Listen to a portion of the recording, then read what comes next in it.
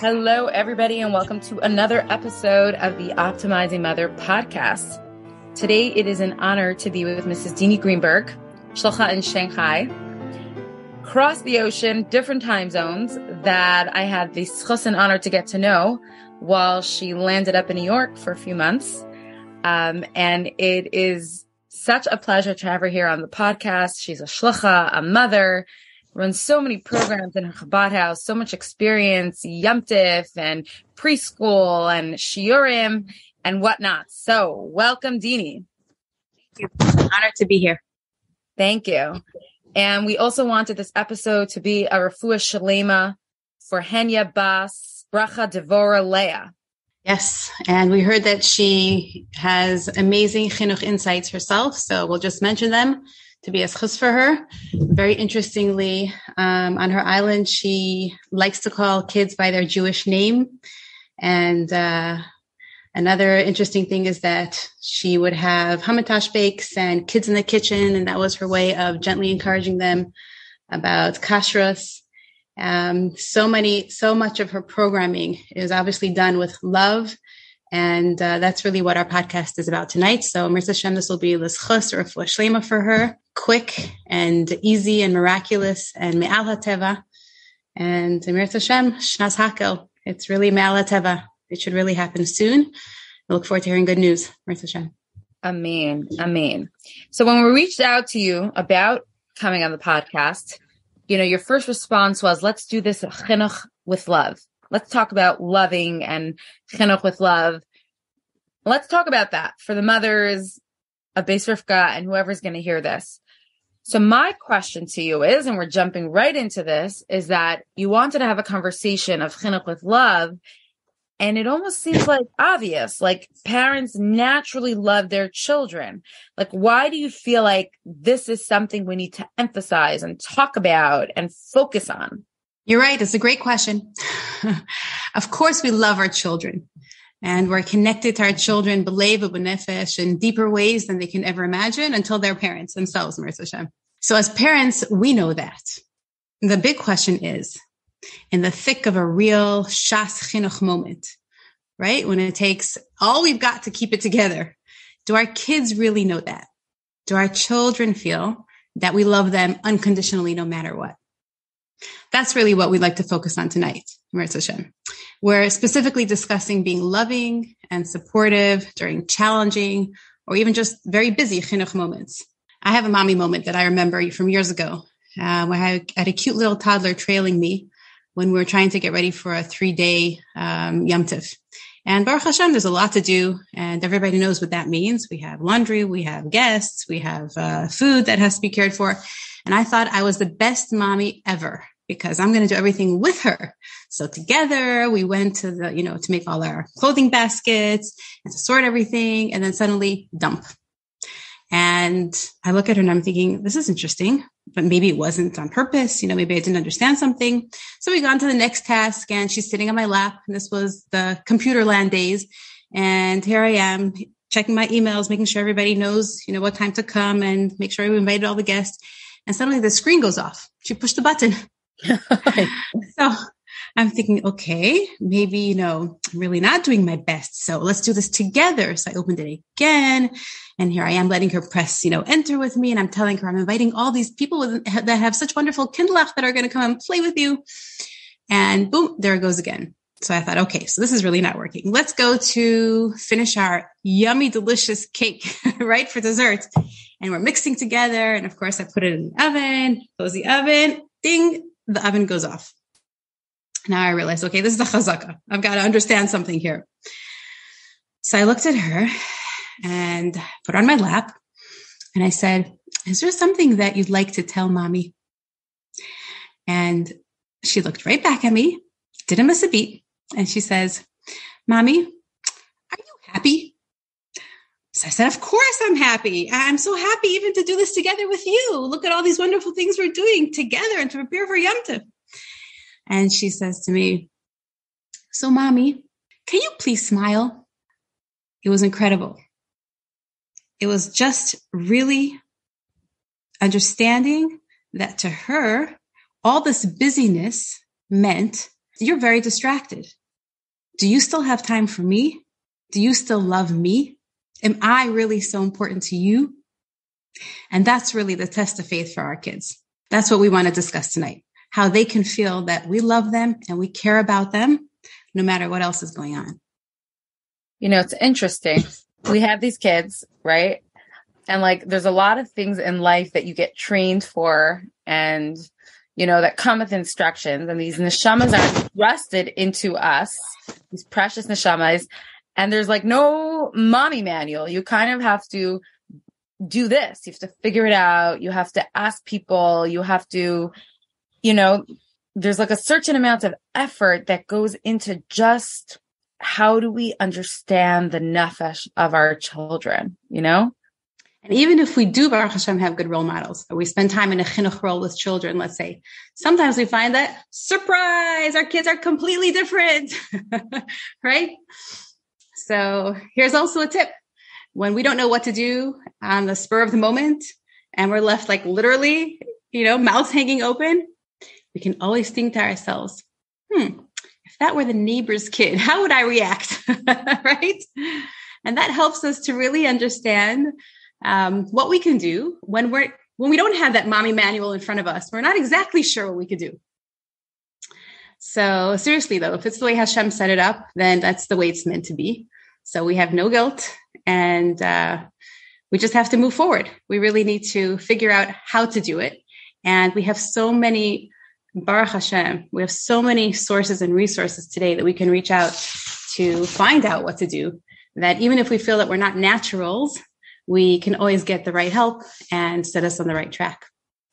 And this is not, we're not only talking about like deeply challenging moments, even day to day life situations. So we recently were in New York. We had a little journey coming back to China uh, due to Corona. So we were in New York for a whole school year. And we had a very interesting situation. Um, this is a place that we, we're always dreaming of going, right? And we're in China. We're always looking forward to when we go to America, Mirza Hashem. And here we were, and we had everything that we had always imagined we would have back home. And for some reason, the kids were still not happy. And I really couldn't understand it. And as long as I couldn't understand them, and my chinuch was, we could see the best in the situation. And aren't we lucky that we're here, Baruch Hashem? And this is where we ended up. And look, you get to go to real school. And we have, you know, we were, we were in Crown Heights. We have the Rebbe, we go to the Ayah, we have 770, and we, Baruch Hashem, have our family and our grandparents and there's kosher food, there's pizza and ice cream. That's I mean, what I thought you were going to say first. Yeah. so I had to put in order. Huh? but here it was. I had some very unhappy children and I just was not getting them. I wasn't understanding them and I wasn't responding, I guess, in a loving way. And so they kept resisting. They're like, but we're just not happy. Don't you understand? It's not us. It's not us. And, um, finally I realized that I need to take that time out, that break. I need to go out of myself and find the solution for them and find the solution for our family. And it was a very funny one. We realized that we just have to bring back what we're familiar with. So we invited all our neighbors for a challah bake. It was amazing. Thank you, Shelly, if you're listening. We invited neighbors from down the block to get to know them, and they were so nice. They reached out to get to know us, and we had sushi nights together the switch and the change that happened in our family when I understood the needs of my children and they realized that I understood them was incredible. Suddenly everybody's doing better in school. Suddenly everybody's willing to make friends. Suddenly those little things that bother us don't bother us so much. And the truth is that's really the way the Rebbe educated us. Life is really supposed to be fun for the kids. There's so much going on. We have rallies, we have Tivus Hashem, we have Miftzayim, we have Pa'ulas, we have Chiddush Yomtivs, we make for farbrengas and parties. And here we have Ahavas Yisrael. We can make sushi nights and challah bakes in whichever way that it works for kids. And when we bring in the positivity and it's just flowing in our house, it's incredible how it fills the cup, so to speak. And we see that when children are busy with positivity and are given leadership roles, they feel valued And they get that same internal satisfaction and deep happiness that we do as adults when we're doing things for other people as well. Beautiful. I, I want to comment, if it's okay, Mrs. Greenberg, two things. Yeah. One of them is that you shared about what if it was the neighbor's tip. I seem to remember a story of Rabbi Lou that he wrote into the Rebbe about how, you know, he shouldn't use strong disciplinary tips or something, or maybe, you know, it was even stronger than that. And the Rebbe said, like, would you lift your hand against an, someone else's kid? Wow. And then the Rebbe said, your own child is really not yours. They're almost like lent to us by Hashem to take care of. That was one story that came to mind. What I also want to comment on is that I'm listening to you talking about what worked for your children and you put thought into it, period. You put thought into it this is like, you know, like the Hayom Yom says that you're supposed to spend a half a day, half an hour a day thinking about the chinuch of your children. That is what is so beautiful that you sat and you thought and you problem solved what's going on here. And you came up with even a ruchnistic solution, which was also fun with them. But it's the idea of what are you doing for a half an hour a day to think about your children to help them with this goal of chinuch with love. Mm-hmm. You know, some of us might feel like we're not naturals and we don't really know how to do that, right? The truth is, though, if we're given this privilege, we're given this inborn talent, even if it's not fully developed. We just need to uncover the talent, right? And we know that there are a lot of stories of even our kids, like we found that they have, uh, they're musical or they're creative or, you know, they're artistic and we never saw it in them when they were younger, but su- suddenly that inborn talent comes out. So we just have to know and realize that we have it in us. And if we feel like we don't, again, we can reach out. And just like you mentioned the Hayom Yom, maybe that's the Avas Yisrael that everybody could have and sharing t- tips with each other because we're really in this together. Our kids are going to affect each other, right? It's one world together. Your kids are going to affect mine and my kids are going to affect yours and Mir Hashem in wonderful, positive ways. So we all have the right to ask for help we all have the duty to reach out for help. And it's an amazing feeling of achdus that we're all in it together. You know, we started off talking about like chinuch with love and, you know, speaking about thinking of their needs and, and taking care of their needs. I'm just curious, do you feel like this is a little bit like 2022, you know, like modern day lingo, like it's all about love. Like is this really a Yiddish Hasidic thing, or is this like a modern thing, and we're just like jumping on the bandwagon to like figure out how to make our kids feel loved and, and take care of their needs? So it's both. Firstly, about love. Yes, Avas Yisrael is a very Jewish thing. it's the core essence of everything we were taught. And regarding jumping on the bandwagon, I think we started the convoy. The Rebbe already taught us decades ago that the times have changed. And along with that, the natures have changed. The problem is that it's very hard for some of us to understand or swallow. The problem might be that for some of us, it might be hard to understand and swallow, especially if we were raised on good old Yira and kabbalas ol and just do what you're told, right? It's a very different generation. But if anyone needs convincing, we actually heard the Rebbe say in a Farbrengen that we have to be mevatel the generation gap. Actually? Could you believe it? We have to do away with the generation gap. It's fascinating. The older generation and the younger generation have to be in sync with the chinuch. It's printed in Svadris if anybody wants to check it out. So it's What's really the term quite, the Rebbe says. What does the Rebbe say? The Rebbe used the terms bitul hamusag shel par hadiris. Okay, just do away wow. with the whole concept of a generation gap. It's over, and now we have to acclimatize ourselves to that. So even the good old us, okay, let's be honest with ourselves.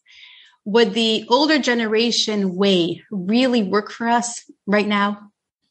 What do you think? Okay, so I hear what you're saying in the sense that like it happens to be um in the various hats that I wear. I get a lot of criticism, constructive criticism. And I think what you're saying is not so much that I can't be told anything, but that it really makes a difference how somebody says something to me. Like, you know, with camp or anything, when someone comes yelling and screaming, like I almost like shut down. I'm like, can you say the same thing gently? Like, is that what you mean? So if I'm hearing correctly, when you feel that it's really well meaning, right? In your best interest, you're open to hearing, right? You want to know that the person has your best interest in mind, not just that they want to give you a piece of their mind, eh? you're open to hearing and you're open to listening and you're open to learning. We all enjoy learning from other people. It's just a matter of us understanding what their intention is. And then we're much more open to listening and to learning and to understanding. So when it comes to our kids, the Iker Nakuda is really here. When we want to tell our kids what to do, or we would like to gently guide them through life, we need them to know and to feel that it is really with their best interest in mind. It's because we love them and we want the best for them. There's no other motive. There's no power struggle here. There's no ego alert, right? And again, let's think of ourselves. Let's pretend that we're the child who did X, Y, and Z. Okay. For a toddler, it might be wreaking havoc in a dining room. Um, for a tot, it might be um, wreaking havoc in a different way. Okay. Um, it could be a mistake. It could be impulsive. It could be just the wrong judgment or a follow the leader thing. And your mother or parent reacts in a way that you feel is in their best interest, not yours, right? Um, you might feel that they're against you, not with you. What are your feelings? Are you opening to listening? Do you feel your parent loves you? Do you feel like loving them back? so from tot to teen, it really goes across the board. What, what are we saying that helps them understand that our intentions are pure, really, really just for their benefit because we love them?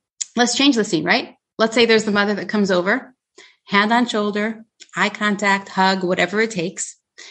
And she says, I understand we have a challenge. I'm here with you. We're going to tackle this together. I believe in you. I love you. What would our reaction be? So basically, if I understand what you're saying, you're saying, how do we get our children to feel loved even while we're educating them? We should basically treat them the way we would want to be treated if we made a mistake, like as an adult. There we go.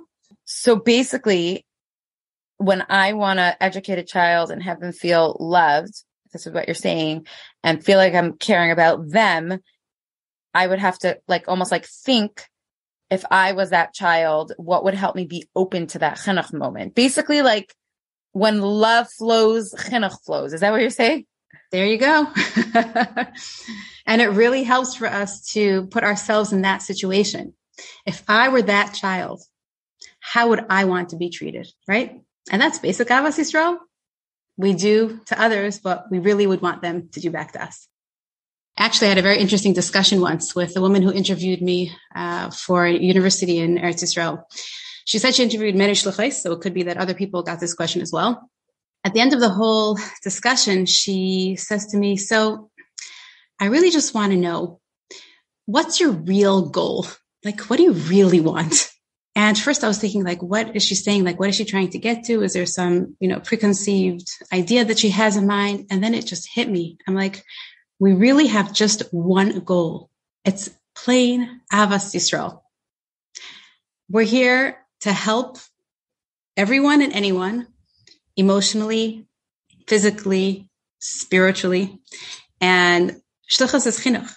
It's across the board. So you're saying that's the way our children need to feel, that we're really here for them and to help them and to support them and love them. In whichever way necessary and in every and any situation. Okay, Mrs. Greenberg, Dinie, I want to challenge you for a second, if that's okay. Do you, you know, for now, until now, I've been like, just, you know, going along with you, love, love, love. But really, do you really see that the Rebbe supported this chinuch with love, like specifically chinuch with love? Like, is this really a thing? So, in the Farbrengen, the same Farbrengen that the Rebbe speaks about being mevatel the generation gap, right? The Rebbe says, "V'aid v'ikar shechinuch mitach ava gluya matzliach yeser michinuch mitach yira v'fachad." Oh wow! Okay. Which Farbrengen again? What was the so, source? This was Hisvaduyais Tafshin Nun Chelik Gimel Amud one ninety four five. Free translation: The most important thing is that chinuch with obvious, revealed love will be much more successful than chinuch with yira v'fachad, awe and fear. Or maybe we could translate that to stern discipline. The truth is that we have treasure troves of Hiras from the Rebbe and Chinuch. And we know that it's the ultimate and absolute truth, and it's going to be 100% effective and successful. And there are more, book, more and more books coming out now as the years go by. There are WhatsApp groups and podcasts, but I think it would be so great to have an easy and clear, ready-made manual for the guidance that we need. What do you think? That would be amazing. Wouldn't, yeah, wouldn't it be great if everyone who's listening to this, um, if any of our listeners have already done workshops or classes with down to earth tips that are simplified for busy minds um, on the Rebbe's view of chinuch, if you can share it with us and maybe we can collate this and send it to print. And here we would have something that busy us can have readily accessible and easily available for us to understand and apply in our day to day life. Things like this. For example, I saw a very touching letter from a woman who was having many difficulties with her children and she felt she couldn't handle it. It sounded like she was barely surviving. And the Rebbe writes to her, very interestingly, the ikr is that you're getting nachas from all your children, meaning even all those whom you think are giving you challenges. Hmm. They are really giving you nachas. So what does this mean? Does this mean our glasses are, are fogged and we're seeing them the wrong way? Or within the challenge, we'll see the good and have deep nachas from that? It's very interesting. Wow. And then listen to this. The Rebbe advises her. Trachtgut gut applies here. And it's clearly understood that when one views their children's behavior ba'ayin tova, with a good eye, naturally the behavior or reaction towards them will also be good, like with a positive outlook. And how much more so the way one speaks to them. Oh, interesting. And it's probably connected. How you look at them will advise how you speak to them. There you go. And if we really respect them, we will react appropriately and they will respond accordingly. It's fascinating. And I'm also wondering if the Trachtgut itself brings the Vetzaingut. You know, there's a lot of, um, you know, we learned that just the Avaida of Trachting Gut already invokes the bracha. And I'm wondering if that applies here too. Absolutely. Why not? In other words, the whole idea of B'tachain is that as a reward for having B'tachain, you get the bracha. So I could imagine here, that's what the Rebbe is saying, like, think that your children will have amazing outcome and that actually will impact their outcome. Absolutely. Oh, and here's the last line. The Rebbe writes, and what we can accomplish with words of Kirov is clearly overwhelmingly greater than what can be accomplished in behavior, meaning our reactions in the opposite way. We know how the Rebbe phrased things. it's almost like the Rebbe saying that when kids do something wrong, like the work is on us, like it's our issue.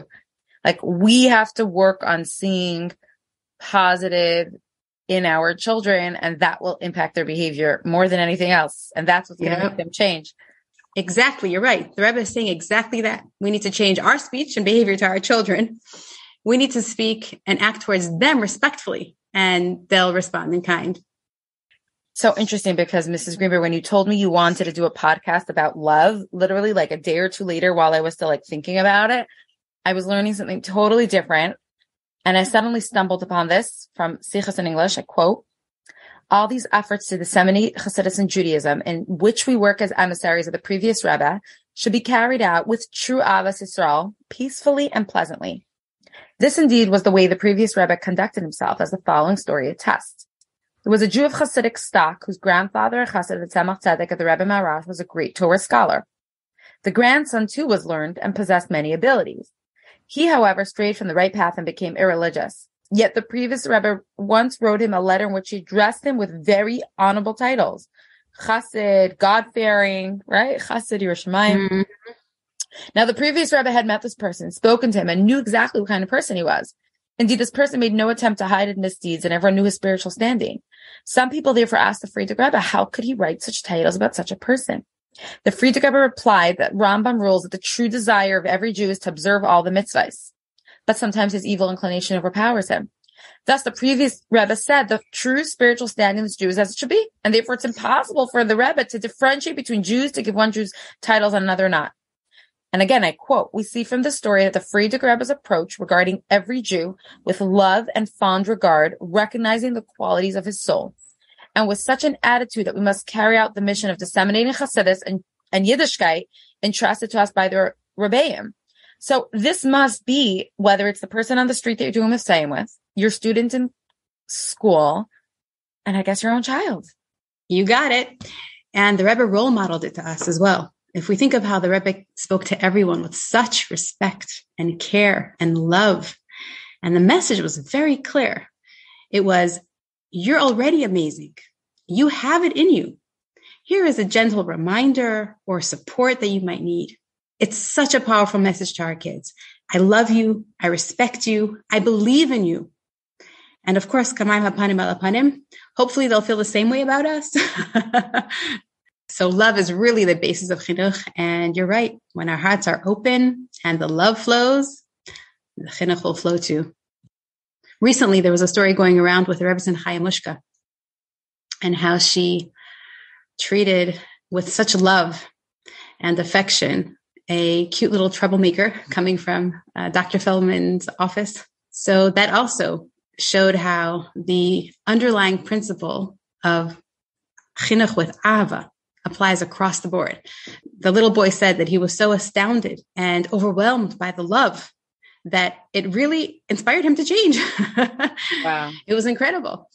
Okay. So I know I keep pushing you, but I'm going to push you again. You know, chinuch with love, thinking about our children's needs. Rebbe has all these letters about love, but like, so that's it. Just bye by Yira, no discipline, no Yira. Like, you know, what are we really trying to say here? Obviously, we have to love our children. Where's the Yira? Okay, listen, we're not writing off education. Okay. We are talking about chinuch and we have room for consistency and we have room for training and it's all about educating and guiding our children throughout life. But sorry, you teach Tanya right? You wrote a book about Tanya. so we're all comprised of 10 spheres, but some of them are more dominant. It's the same here. We need Ava and Yira. There's Ava Hashem and Yira Hashem. And in our generation, the Ava is the primary force. It's Yira Mitaych Ava. Oh, we can find an excellent place for Yira in our generation. Yira means awe. Our kids need to think that we are awesome. Mm-hmm. we understand them. We believe in them. We love them. We're full of Yira. We're awesome. And that's the opening for a true and everlasting chinuch. Okay. So then what I'm hearing from you is that we need to love our children. They need to feel it, even when we're busy or normally would want to be stressed out, you know, making the time, asking for help, trying to understand and fill their needs also sometimes there's room for consistency and yira, but all with ava and all with love. It sounds like a tall order. Do you have any okay. tips? so let's us? simplify it. Let's simplify it. Okay. Let's take three points. Number one, we just treat them like we want to be treated. That's it. Number two, if it's hard for us to figure out how to do that, let's pretend it's the neighbor's kid, right? How would we react to the neighbor's kid? Number three, and this is key. This is Saif Ma'asab Machshavat Chila. We are really not alone. We have our Rebbe at our side. We can ask for help. We can ask for support. We can write everything and ask for brachas for the right guidance, for the right directions, for hatzlacha bakal mikolko. And we'll see the bracha flowing. Wow. I think you summed that up really, really beautiful. Um, I like that. You know, treating them how we would want to be treated when we make mistakes and, and just the neighbor's kid and asking the Rebbe for help. I love that. And the truth is, you know, we have our limited time and, but there are hours and hours and hours Uh, farbrengens where the Rebbe spoke.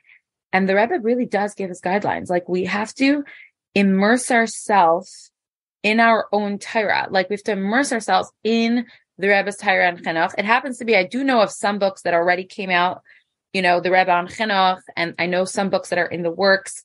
And the truth is it, it takes effort. It does take effort. And that's why we do invest. And that's why we do need to reach out to our experience, mentors, mashpiyim, people like you, um, and you. and I do like your idea of what you were saying before about that anyone who has experience or figure it out, share. Like we almost need to make like this shared Google Drive or resource center of chinuch practical based on authentic true sources. It could be that someone's already done this. So if you have done this or you know of this, please reach out and let us know so we can share it with everyone. And I think we should pull together our resources. And there's a fundamental basic that we didn't even mention yet, which is literally about and Kehos mm-hmm. printed it, and the Rebbe wants us to learn it. And the truth is, a lot of what we, I learned in Klalei Chinuch really reflects what you're saying. That when an educator yells and screams, he loses respect in the eyes of the person he's educating, or building the person that you're trying to educate with words of praise like and the really, children will accept discipline if they know it's from love. Right. About that. Right. Right. So it's almost like we're saying this is really a call to learning our sources, to farbrenging, to keeping this up. And, you know, any resources that exist, if you know of anybody, you know, let's share. And Mrs. Greenberg, if you can actually share when we share this podcast, we'll share that quote from the Hisvaaduyos, mm-hmm. that mm-hmm. Ahava Gluya, that we could really just remind ourselves that whatever discipline we have to do, it can be with love, with a story, with a smile, so that our children really feel that. And that even the kabbalas ol is with love. Because I don't think we're putting down kabbalas ol. It's necessary. We're saying that Yira has to happen, but that it's done with love. We're teaching how to do it with love. And by the way, this was all predicted this wonderful generation of uh, Geula. It's called in English the brazen generation. And we're just reacting in kindness. This is a Geuladic way. Then we're also going to be Geuladic. We're going to respond with chesed, with kava chesed. so Mirz Hashem, as we guide our children through life with the Ahava Gluya, we will bring our brazen Geula generation to the real and complete Geula. Maybe today. Wow. Thank you so, so, so much. Um, and I, you know, this already, I feel like it impacted me and I hope it, it impact our listeners because, you know, love is something, yeah, we naturally have, but bringing it out to the forefront when we speak, having that in our words so that it comes across intentionally. Um, and may we all be benched with nachas and hatzlacha with all of our children. And yeah, let me be to the final geula. Thank you everyone for listening to another episode. Subscribe and share with your friends. Thank you. See you soon in the Shanghai section of Yerushalayim.